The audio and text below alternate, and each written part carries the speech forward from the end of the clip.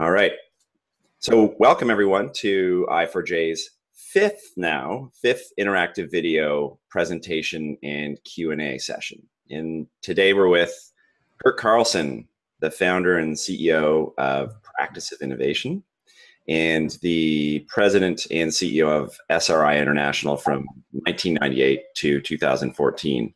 And Curt's topic today is one of my favorites. Your company is dying. Now, what do you do? So um, I love it. so David and Vint, in their, as I would say, entrepreneurial way, have encouraged me to host this series for i4J. It's uh, it's not my day job, as you'll as you'll see as we walk through this. My name is Ben Baldwin. As a quick intro, I'm the founder of a company named ScaleDriver. It's it's innovation consulting, but instead of consultants, we match executives mm-hmm. with innovators within an agile framework that actually helps predict innovation and speed it up so that everybody succeeds. So I naturally love topics like Curt's.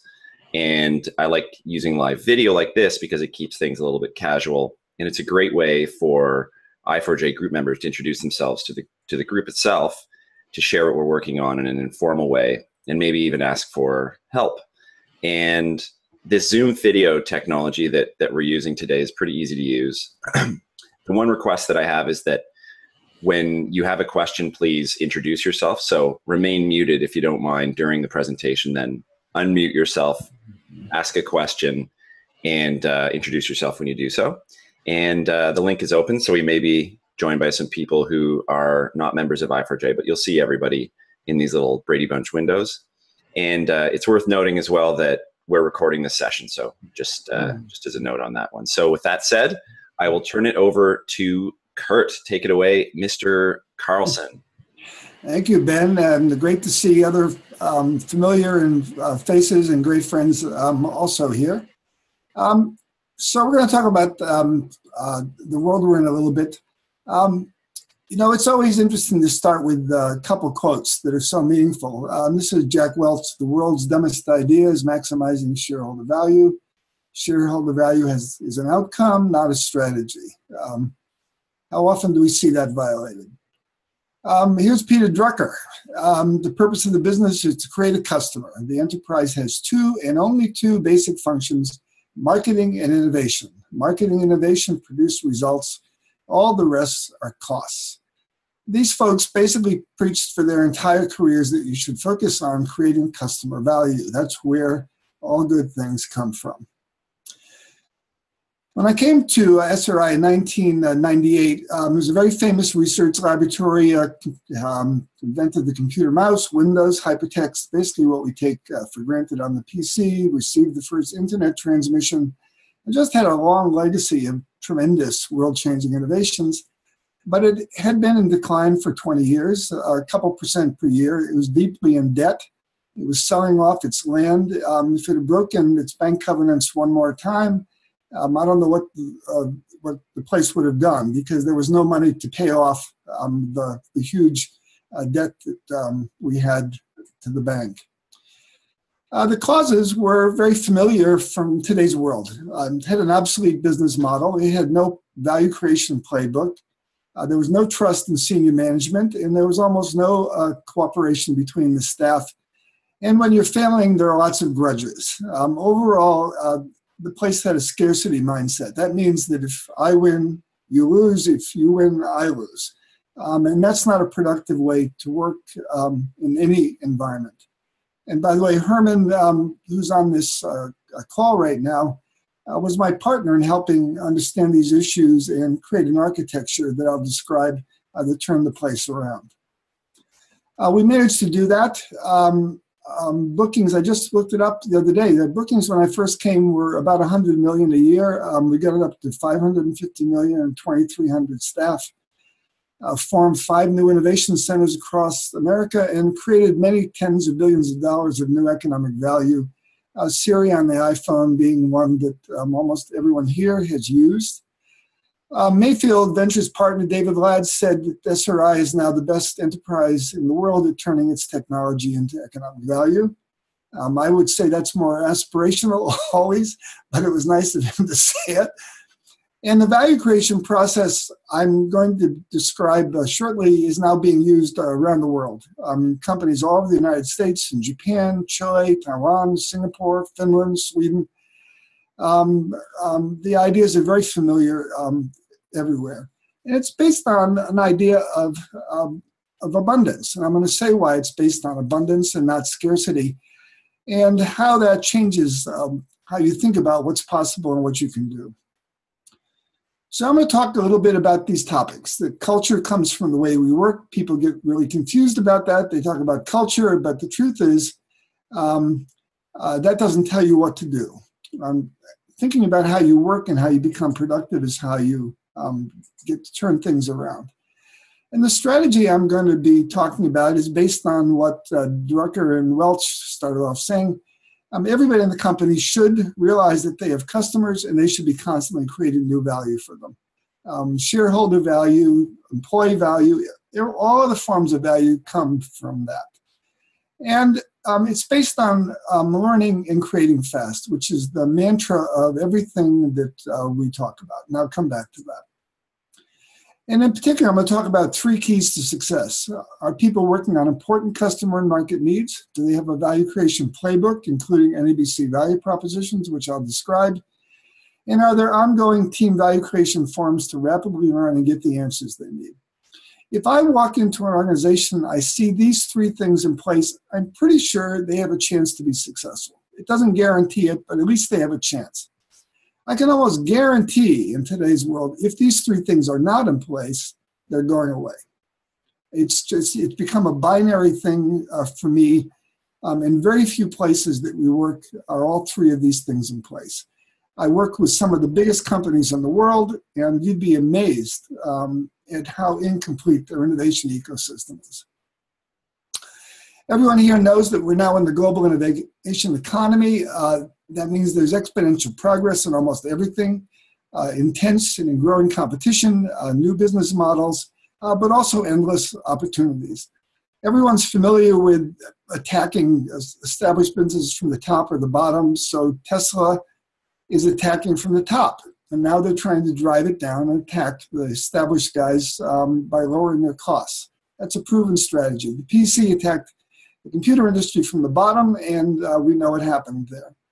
But today, increasingly, people are getting attacked from the side. So the most uh, famous example now is Uber attacking the established taxi industry from the side. Uh, the taxi industry never would have done this, um, but um, as we're seeing, and it's happening incredibly rapidly, uh, the taxi industry is about to go away as we know it. And by the way, that's happening now in financial services and healthcare. It's happening all over the place. So um, um, just being a big established guy these days doesn't necessarily protect you for very long. Now, the good news is this is the best time for innovation in the history of the world. I'm not going to go through all these different areas, but every area that um, uh, we work in at SRI or I work on now basically is open for major transformational innovations. I've never seen more billion dollar opportunities in my life. They're just everywhere. The internet's still nothing. Mobile devices still don't really work. Social media is still growing like crazy. Intelligent services like Siri will be at the front end of everything basically going forward. Um, everybody knows what's going on with the revolution in robotics. I'm going to give you an example of that. Additive 3D manufacturing is going to absolutely rip upside down and backwards the traditional manufacturing business. And so it goes. Um, green energy we still don't have the energy uh, sources we need at the cost we need. You know we still need cheap batteries. We need lots of things that we don't have today.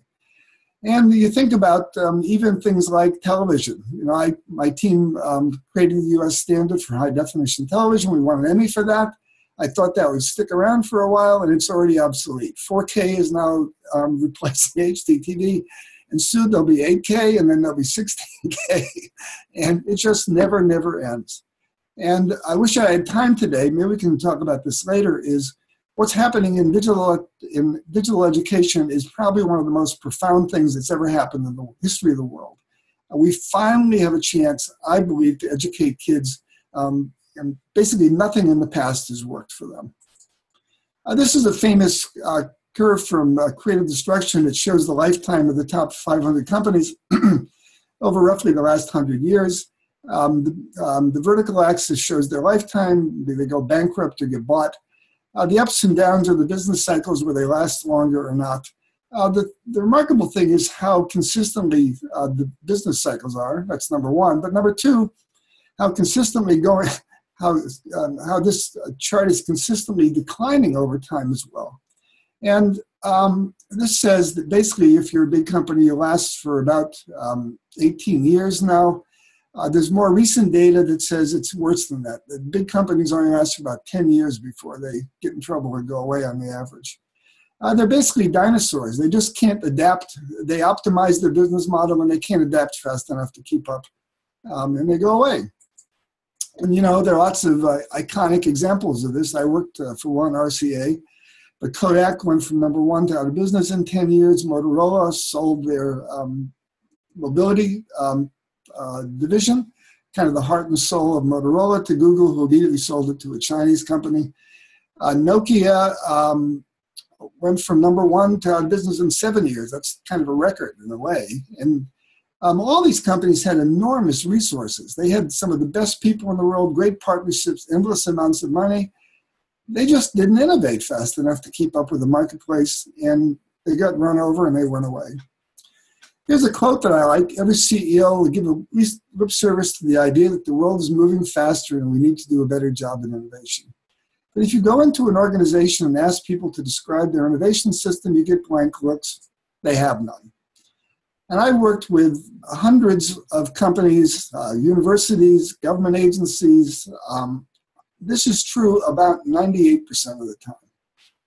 If you ask a middle level manager to describe their innovation system and they can't do it, there is none. Because who's responsible for innovation in most companies? It's the middle level managers. If they don't know what it is, by definition, there really isn't one. They'll say a few words, but when you listen to them, it doesn't make sense.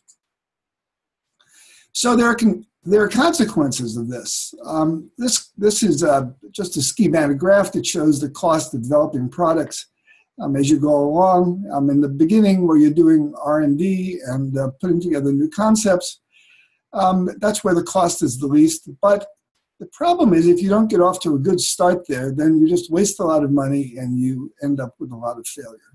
And what we've seen, excuse me, over and over again is this where the failure starts. Um, in all the workshops we've done, I'd say the average, um, uh, these executives, and I'm talking about CEOs and senior vice presidents, they bring in their most important projects and um, they work on them. And after two and a half or three days, they decide whether they have any value for the company or not. And typically, it's less than about 20%. I, have rarely seen a really big innovation um, presented in all of those meetings.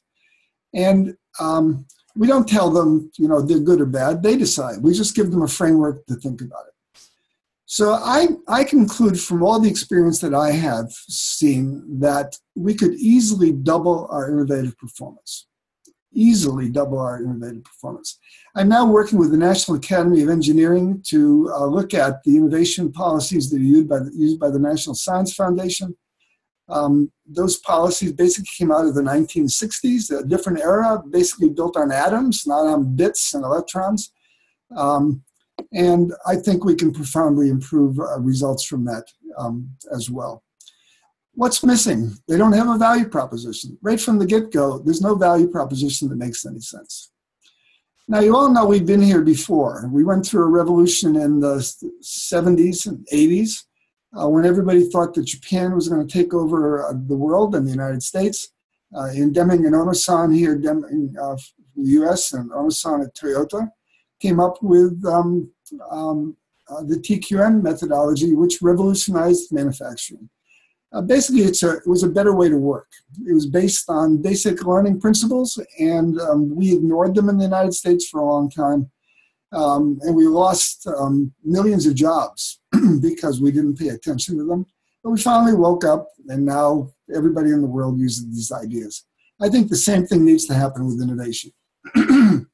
I wrote a book about this with Bill Wilmot. Um, we broke things down into five buckets. Uh, lots of ways to do this. Uh, important customer market needs. Again, if you don't start out with important things, you're not going to do important results. A value creation process, innovation champions, teams, organizational alignment. And um, the point of this was that we've learned that if you violate any of these, um, basically nothing happens. If you're not working on important customer market needs, why should you expect anything? If you don't have a way to get the answers you need really fast, you're not going to get there. If you don't have champions, uh, people with the skills to do it, you're not going to do it. If you don't put together the best teams, it's not going to happen. And if you put roadblocks up all over the place, you can't expect that your teams are going to be successful. So it's just a framework, um, but it captures um, pretty much uh, what you need to do. Uh, this is a, a, classic example that we always give. Um, everybody knows this expression, build a better mousetrap and the world will be the path to your door. There have been 6,000 mousetrap patents, but basically only two of them have had real success. Um, those two. the simple classic ones. they get the job done and they don't cost much. Um, um, the amount of waste, basically, you see any measure you want to look at, patents or whatever, uh, the amount of waste in today's world is enormous. So, what is innovation? Well, the definition we like is the creation and delivery of new customer value in the marketplace with a sustainable business model. So, a lot of people say the first couple things here. Basically, people have to use what you do, or else um, it's not um, it's not an innovation. I've never heard anyone mention the sustainable business model part of it, and the reason uh, we emphasize that at SRI is if there isn't a business model to go along with your innovation, of course, it's not going to be successful in the marketplace. So we just kind of spelled it out.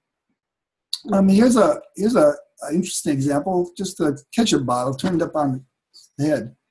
Uh, you probably were surprised when you saw this the first time, and then you probably said, "Oh, gosh, that's uh, that's a clever idea." Um, and it captures the spirits of what innovation is about. Um, first off, um, um, it was surprising. It created new knowledge. All new innovations do that. Um, and it's a really practical solution. It's sustainable. And in fact, it's so valuable now that if you have some uh, tube of stuff that has sticky stuff in it, if it's not turned upside down, you're disappointed. It's negative value now. It's negative value if you don't um, have it. It'd be like having a square wheel. Um, produces negative value. Now, at the same time, um, uh, everybody on this um, link knows that there are many really bad ideas out there. One of my favorites is fail fast to succeed early. I think that's one of the classic dumb ideas. Fail fast to succeed early. Does that make any sense to anybody? Anybody here want to fail fast? Now you know you know what it means, but um, it's still a pretty silly thing to say and it doesn't tell you what to do. We got to be careful about the words we use. Innovation is really about learning and creating fast to succeed early. And once you put that mindset on, everything that you look at, that you do, you can judge is this helping us learn and create faster or is it getting in the way? If it's getting in the way, you should eliminate it. If it's accelerating or amplifying your ability to learn, that's a good thing. So how does that play out in the real world? Well, here's the product lifecycle curve. You're all familiar with that. You start out with R&D. You try and address a big, important customer need. Hopefully, you make a sustainable impact. Sustainable in this case means at least you're getting a pretty good return on your investment. Um, and then you start over. Uh, the part about connecting needs with R&D is called value creation. And once you're in the marketplace, it's called innovation. And the only point I want to make here is that connecting R&D with needs – is a process. It's not an event. You've got to drive this, you've got to iterate it, and you want to learn and create as fast as you can. So, everything again that you can do to learn and create is good news. Um, anything that slows you down is bad news. What's the definition of customer value? Um, the simplest definition you can give is customer benefits over customer costs. These are all subjective qualities, uh, quantities. Um, um, what money means to you is different what it means to somebody else. What convenience means to you is something different for somebody else. When you buy a car, um, some people um, value a Tesla so much they'll pay $120,000 for a car. Um, they happen to be very rich, which is nice, but for them, for them, it provides enough value that it's worth it to them. But for most people, a $120,000 car is, uh, if you're in the Midwest with no charging stations, that doesn't make sense. Um, it's all subjective. Um, um, and obviously, what that example proves, there's more to it than just the functionality of the car. In fact, there's a hierarchy of value that starts with commodities, products, services, experiences, and higher meaning. A Nokia made really good products right at the bottom of this um, uh, value hierarchy. Um, they uh, were solid. You could drop them in the toilet and still work when you took it out. Uh, you probably could flush it into the bay and take it out and it would work. Um, but um, Steve Jobs uh, did much more than that. He made more elegant, more convenient products. He added services like iTunes, experiences like Siri, and he appealed to a higher meaning. Um, um, you know, you just it's uh, you're special if you buy Apple products, and that's what that's what Tesla's trying to do, trying to make people feel special by appealing to their higher um, uh, purpose, and they can charge a fortune for it. Um, there's a lot of value up at the top of that. And we know what happened. Nokia went away in seven years, and Steve Jobs created the most valuable company before he died in the history of the world. So so that leads us to what's the definition of a value proposition? And we have a very simple definition. What's the need, the approach, the benefits per cost, the competition, or the alternatives? Um, and the idea um, is you want to address an important customer market need with a new, compelling, and defensible approach, including a business model to provide superior benefits per cost when compared to the competition and the alternatives. NABC. So, what happens if you take one of these questions away? Does the value proposition make any sense at all? No. Take away the need, you don't know what you're doing. Take away the approach, you don't have a solution. If you can't specify the benefits per cost, then how do you know you want it? And if it's not better than the competition or the alternatives, why should you buy it? Um, and successful value propositions are uh, quasi quantitative. At least you decide what it means, but you have to describe uh, vividly what you're trying to do. So, bigger, better, faster, cheaper, don't cut it. Um, you say bigger, bigger than what? Bigger than a barn, bigger than a toaster, bigger than a what? I need to know actually what you're talking about. So, um, we emphasize this is the starting point um, for innovations and it carries through all the way from when you're doing basic research all the way up until you create a product. You always have to be continuously answering these four questions. Um, now, unfortunately, this is what um, almost all presentations look like. We call them big A's. They're all about the approach. I just in the last month, I probably reviewed 200 proposals. They were all big A's. They were all about the person's idea. And of course, almost none of them made any sense. you're sitting there, you're trying to be hopeful, you're trying to help the people. And they basically start off assuming that the need is obvious, uh, the benefits per cost are obvious, there's no competition. They want you to spend uh, the next um, 12 hours listening to them describe their idea. And if you don't love their idea, they think there's something wrong with you. Um, uh, they really want you to, to love their idea. It's a, it's a natural thing. I'd say in general, about 95% of the presentations uh, we see around the world uh, look like this. They're all big A's. Um, I review lots of proposals for Singapore and NSF and other places. They're all big A's. Um, and that's not good enough in today's world. Um, we really have to be specific about what we're trying to do and why it's going to be better than the competition. And this right here, this is where most of the failure that I see around the world starts, right with the first simple value proposition. Um, here's another idea that helps. Uh, we call it the three C's. Um, so there are customers out there in the world. Um, you have certain capabilities. Uh, nobody does everything. You can do some things. And then there's the competition. And we ask people, you know, which one of those little um, uh, slices uh, do you want to be in? Do you want to be in one? Probably not. Do you want to be in two? Probably not. How about three? A lot of people raise their hands when you say uh, which one. Three. They want to be where there's customers, capabilities, and competition. Well, the truth is, um, it's much better to be where you have capabilities and there are big, important customer needs, um, and that's called the white space. And the white space uh, typically is, a, is still a big place, so what you're always looking for is the beachhead, the place you can start. The place where the customers you're going after will forgive you for not having a perfect product. So again, if we use Tesla, that's what um, that's what Tesla did. They went after Hollywood superstars who could afford a, a million dollar car. They didn't care. All they wanted was the latest cool toy, and it didn't have to be perfect. It was very good, by the way, but it didn't have to be perfect. Uh, they would buy the car just to have a new toy and to be able to show that they were uh, a green identity. You're always looking for that. Where do you start? And that was particularly brilliant on Tesla's part because those folks had access to uh, publicity. Um, they could basically spread the word about Tesla uh, was brilliant understanding of wanting to be in the white space and finding um, a beachhead set of customers. So what we found um, is that oftentimes the best place to start is looking at where are the big needs and where's what's the competition doing? What are the trends? What are the what's going on in the world? Um, and then I'm seeing if you can uh, put together a, um, an approach with superior benefits per cost to address that.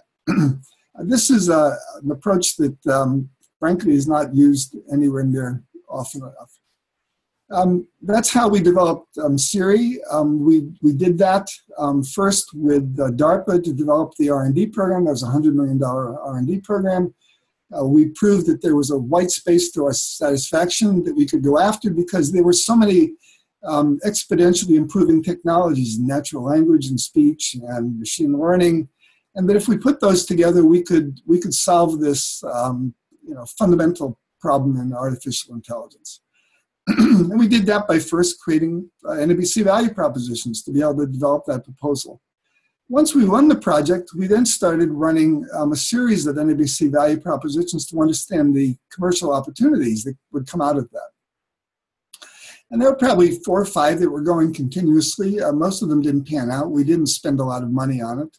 Uh, the big problem we had was um, there was no business model. We could build the technology. That was the easy part. And that, by the way, that's the easy part for most companies. They have plenty of resources. They can build stuff. But um, um, do people really want it, number one? And then number two is, um, can you make money? And it took us actually two years to develop the initial working hypothesis for the solution and the business model for Siri. We then went out we hired those folks um, in the picture there. Um, Adam Cheyer on the right hand side is probably one of the top three or four artificial intelligence uh, folks in the world. Um, uh, he was the centerpiece of the, and then we went out, we hired uh, uh, uh, uh Kittlaus, the dog, the fellow in the middle, who was the CEO. He was the he was the director of the um, advanced programs at Motorola, a terrific guy. And then we put together a list of other really terrific people. Anyway, we then incubated that value proposition for another year at SRI before we spun the company out.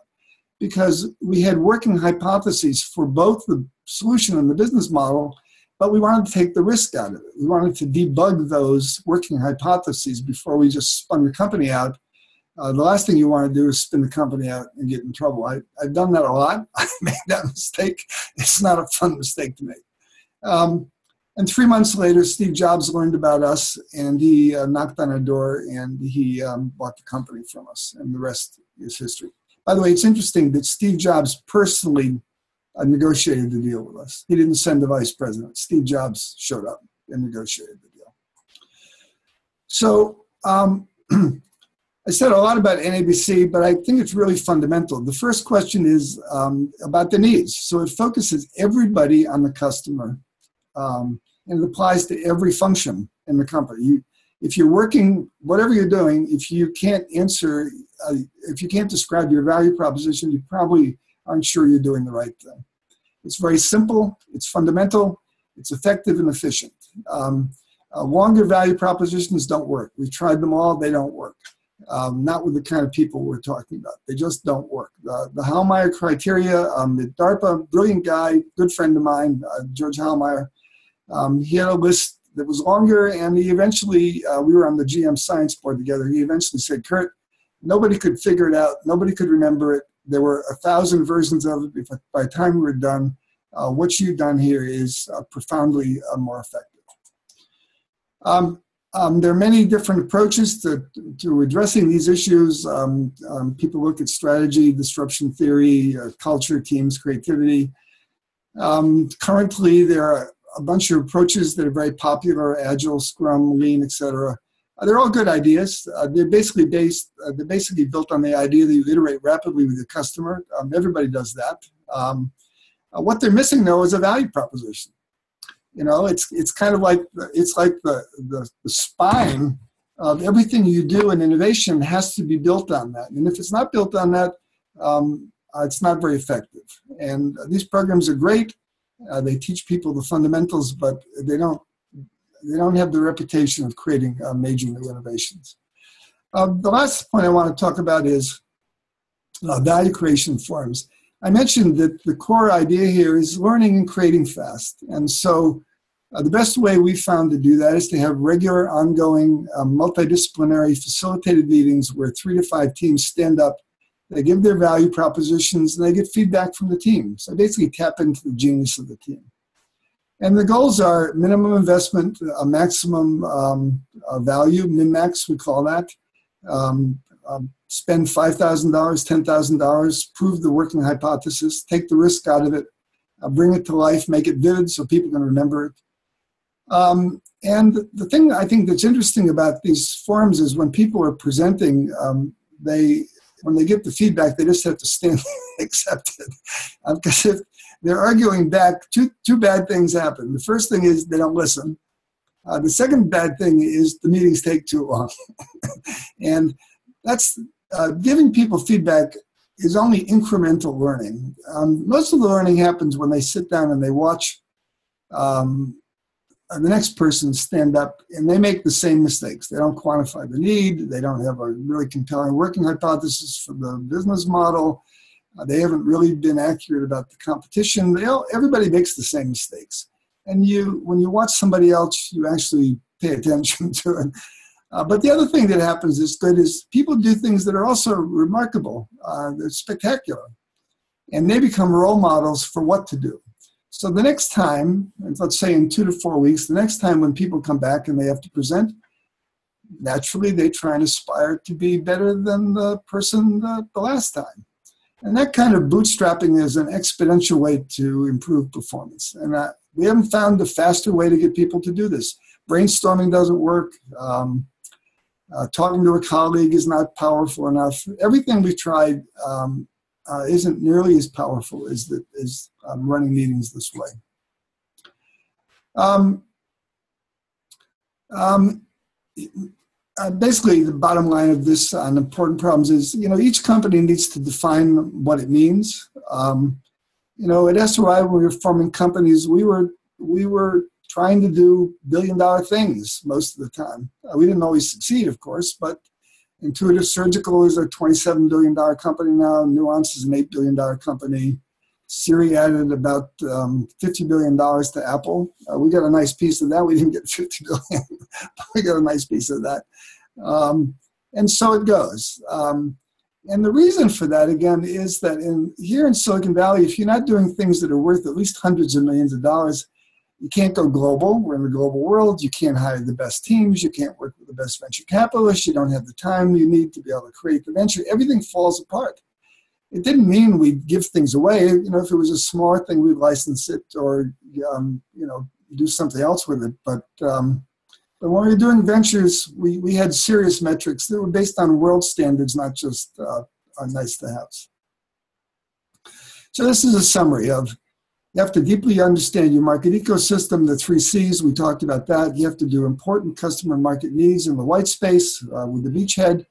Uh, what are your key insights into it? Uh, what's prevented solving it in the past? Uh, that becomes the basis for your working hypothesis, both the solution and the business model. Um, that should define your competitive advantage, whether it's IP or your business model. That's your wow factor that gives you a two to 10 times improvement. And then you want to de-risk it and bring it to life without spending a lot of money before you um, before you make a big investment. And so again, your NABC value proposition is the spine that drives that all together. And eventually, of course, you write a full business plan. Full business plan for venture capitalists means 25 charts, which get thrown away the first uh, moment you form the company. Um, let me just do this one. Most people focus on interesting problems, not important problems, and um, um, as this chart says, by the time you get there, um, it really probably doesn't matter in today's world. There's so much competition. Uh, you want to focus on important opportunities. Now, when you start, of course, you don't know very much. But what we've learned is that it's an important opportunity that the landing place is quite large. If you tackle big important problems, the landing place is quite large. You never end up where you thought when you started because you don't know enough. But you almost always end up in a good place. And the key is you still have to go through this value creation process I described, constantly developing your value proposition, talking to the best people, talking to customers, um, getting feedback from your colleagues. That's the piece. Those those are the two pieces that people. Well, the three pieces. First, they don't focus on big important problems.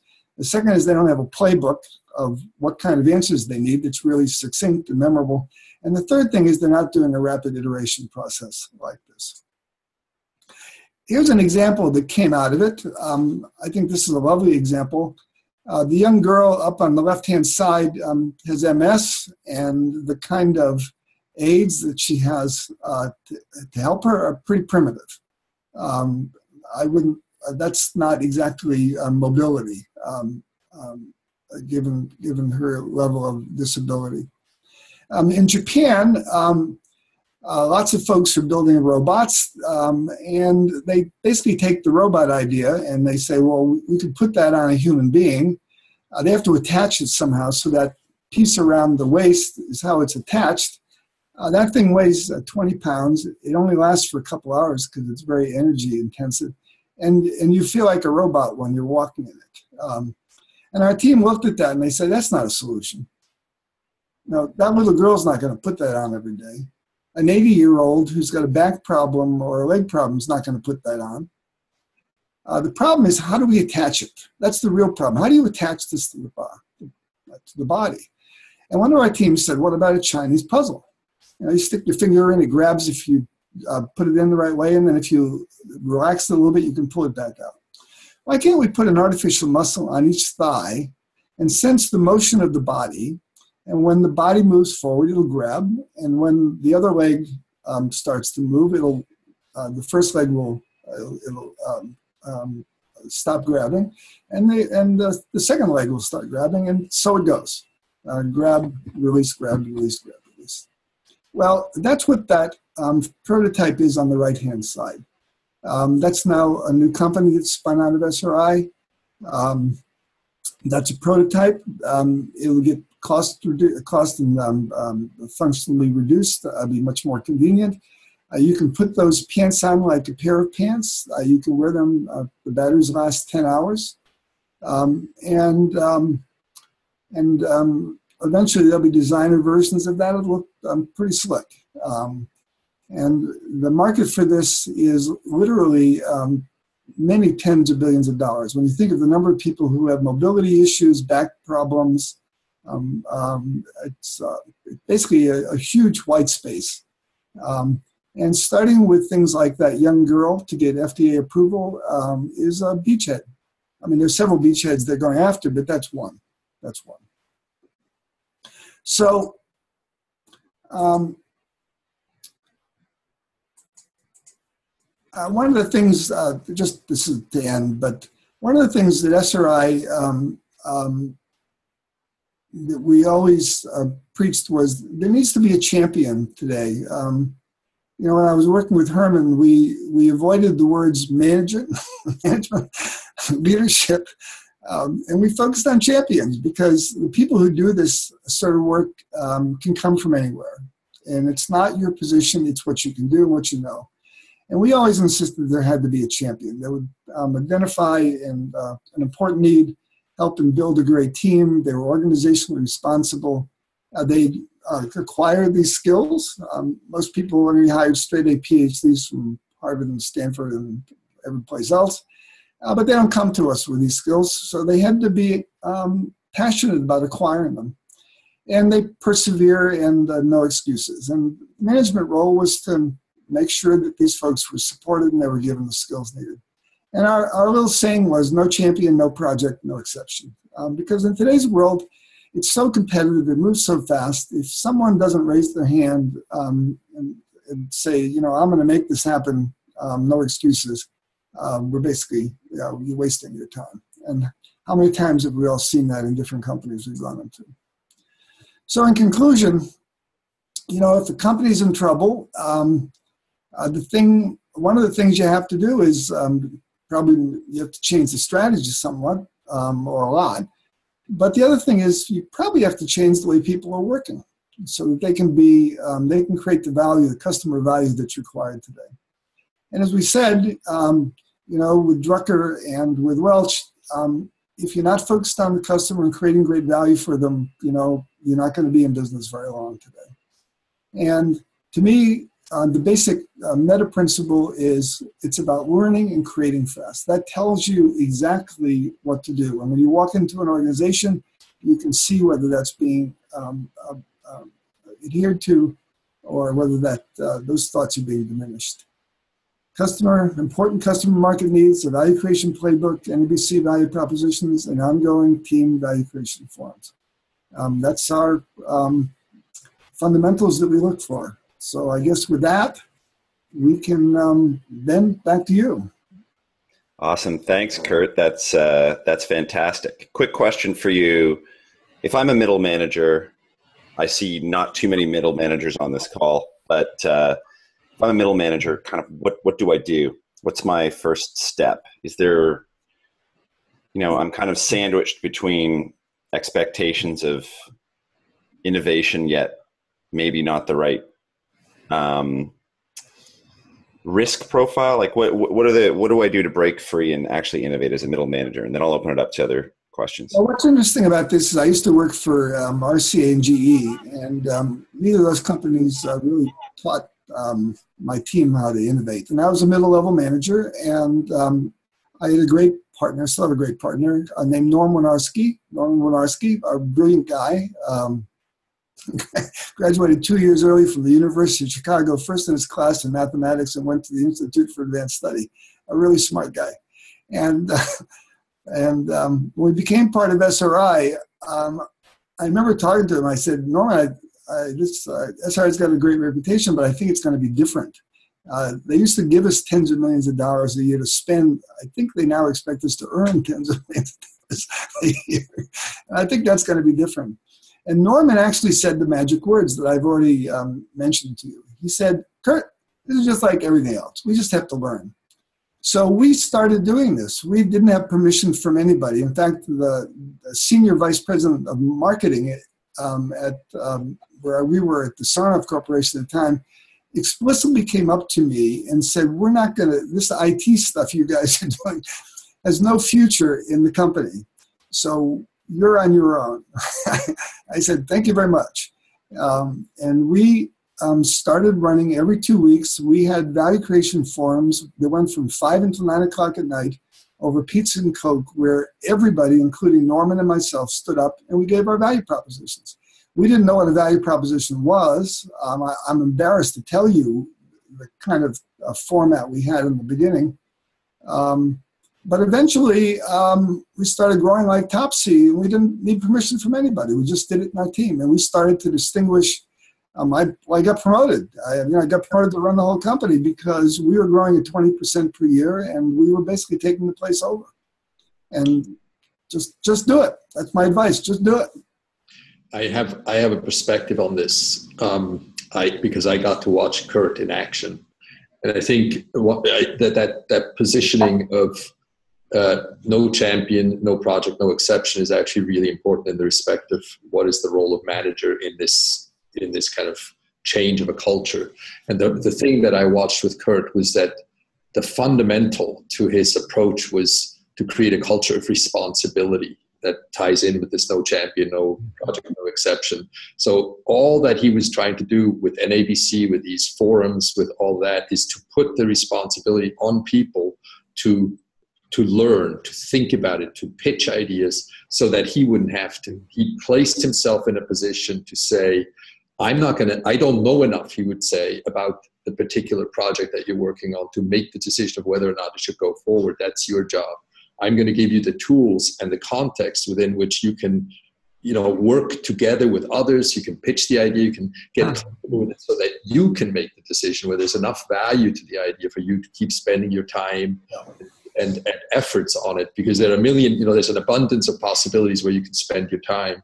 And the task is to figure out is this the most valuable one for you to do? But it's your business it's your responsibility. So i would say that he created a culture of responsibility a culture that didn't put it on management to make the decisions but to create a management role whether middle management or top management to encourage uh, you know this kind of value oriented thinking in everyone so that they would be responsible to create stuff that actually delivers something to a customer, to a market, and back to the company in terms of real value.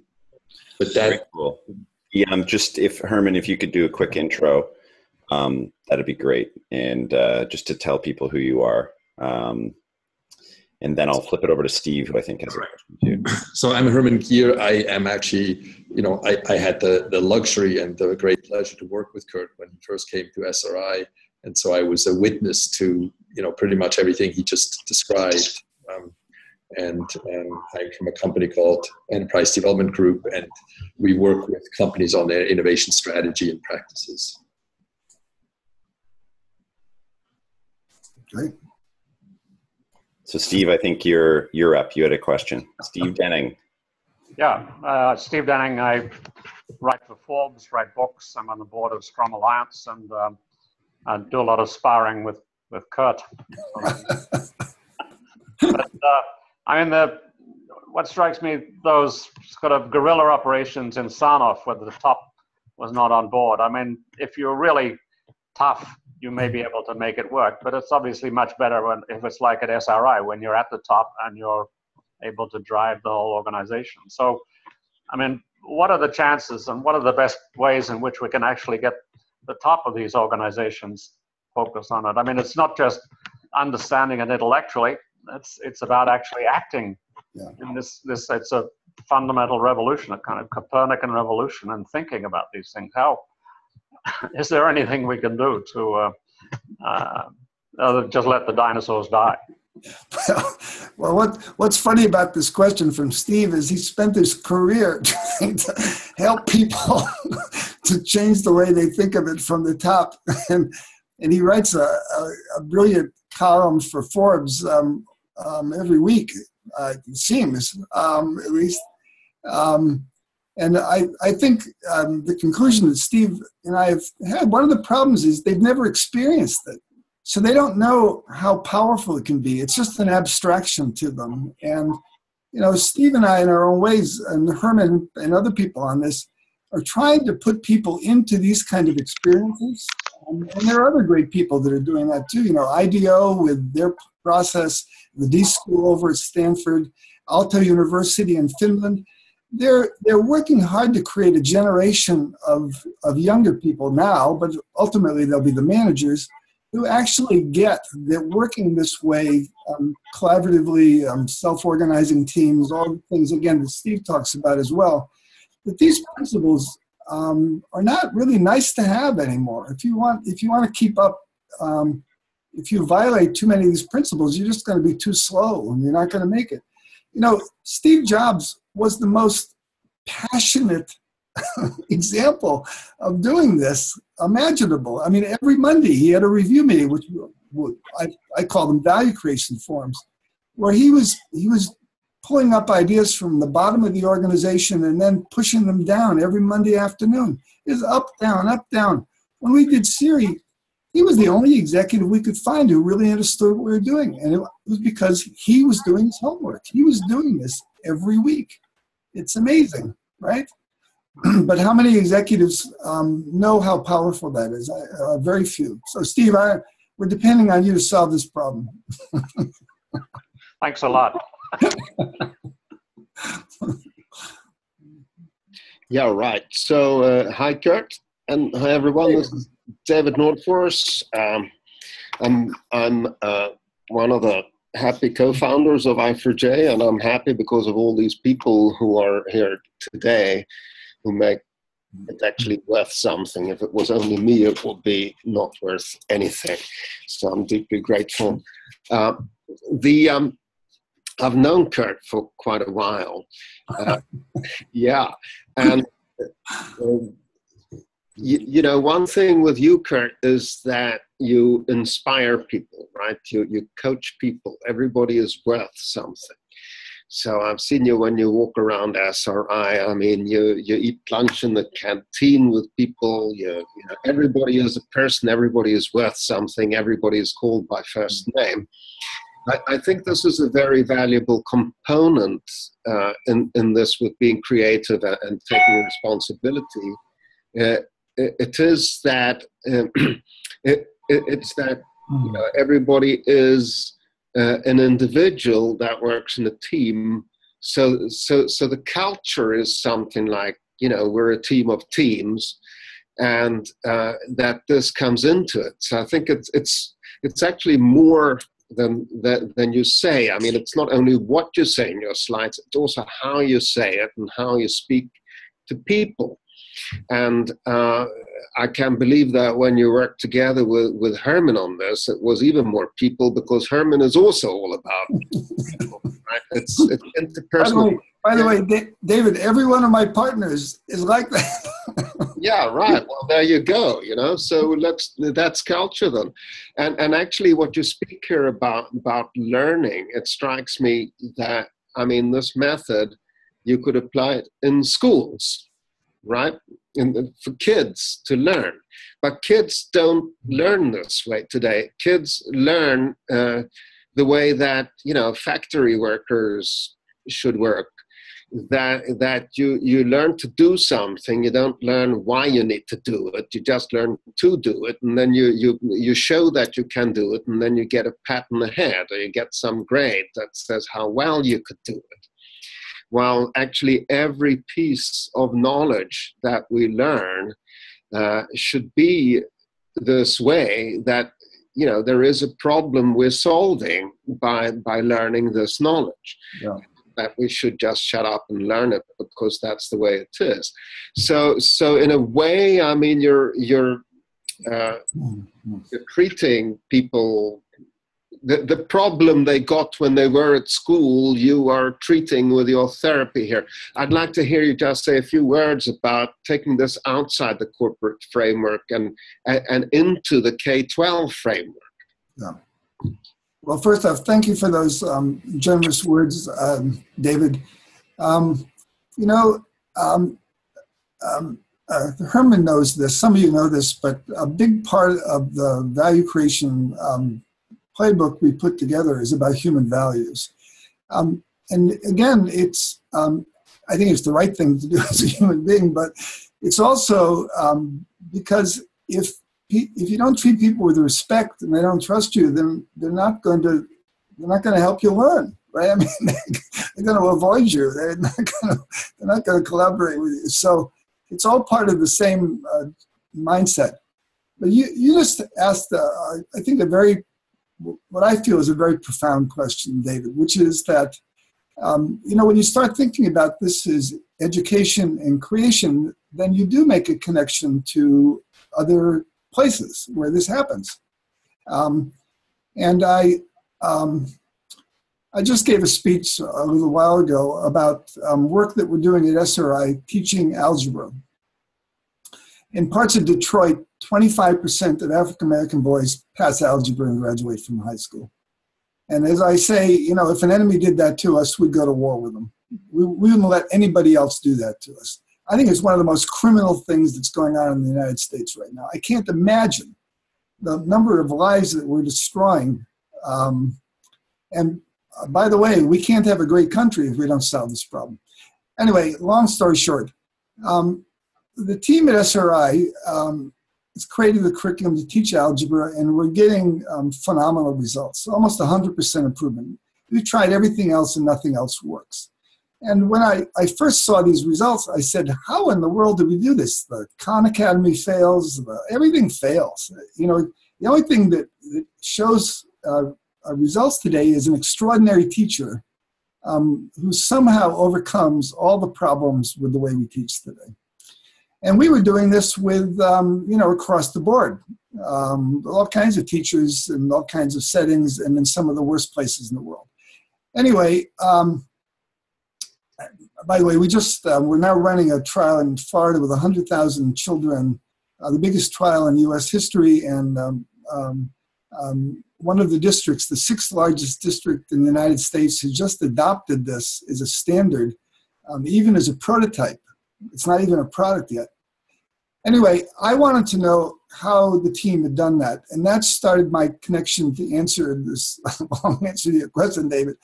Um, how did we do it? And it turns out um, it's a family of really fundamental uh, learning uh, principles that are exactly the same as you need for innovation. The connection is almost one for one. You have to do, you need to have immediate feedback. Uh, you need to have multiple representations because we all learn differently. You want to have mentors, not just coaches. Uh, you want to use the right tools. You want to have the right incentives. You want to have the right values. You need to focus on the big ideas. You don't want to get lost on the little ideas. And it has to be integrated into a complete um, solution. It turns out that list, if you apply it to education, you get remarkable results. And I believe if you apply it to um, innovation, you get remarkable results. And my, my new book that I'm writing is all about that. It's going to be about that connection. Sorry, that was a long answer, but it, you can tell I have a certain amount of passion for this because I think um, if we don't save those kids' lives, I don't know what else we do. Well, this is uh, this is awesome. Thanks a lot. Um, really appreciate it, Curt. Um, we've come to the end of our time, so I just wanted to wrap it up really, really quickly.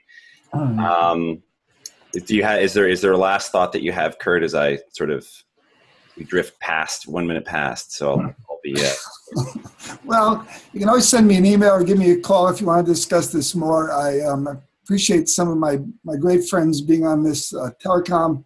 Uh, this is an ongoing discussion um, with everybody here about how do we do a better job at that. And you know, David's forum is how do we create meaningful jobs for people. Um, a big piece of that is innovation, right? But it's not everything. And um, I, I, just thank uh, all you guys for being passionate advocates uh, for uh, um, making the world a better place uh, using these ideas as well. Thank you, Ben. Thanks for setting this up. Thanks, Curt. So, thank you so much to everybody. Thank you, Curt. This is this is great. Um, stay tuned for the next session. We actually have Cosmin presenting on June 1st. He's switched with David. So David will be presenting on what looks like the 29th of June, but I'll finalize that in the um, in the rosters we send it out. And uh, Bob Cohen and uh, the She Special Interest Group will also be presenting. So, um, and I've tried to prod Steve to present as well because I know he's has he has excellent video skills. So there's no doubt that he has excellent live video skills. So um, hopefully we'll hear from uh, from almost everybody by the end of this. For and, sure. Uh, sure. Sorry, what's that, Curt? Okay, I said for sure. Yeah, yeah. Yeah, there you go. We're gonna social contract Steve into this. Yeah. Um, but uh, anyway, thanks everybody. Have a great rest of your day, and uh, we'll see you next time. Ciao. Take care. Thanks. Bye bye. Thanks, everyone.